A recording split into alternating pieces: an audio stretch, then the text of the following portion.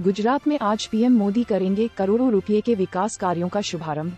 प्रधानमंत्री मोदी गांधीनगर में सरकार और संगठन के साथ डिनर डिप्लोमेसी करेंगे। अहमदाबाद में कंजंक्टिवाइटिस के मामले बढ़े। अहमदाबाद, लापरवाही से गाड़ी चलाने की घटनाएँ जारी, सरकारी संपत्ति को नुकसान पहुँचा के बीएमडब्ल्यू कार चालक फरार। अमरेली, भारी बारिश किसानों के लिए बनी आफत। मूंगफली की फ़सल को नुकसान।